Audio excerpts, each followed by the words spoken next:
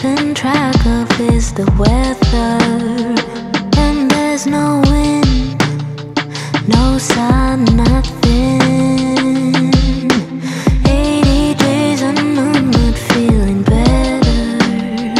But a sweet relief is finding me.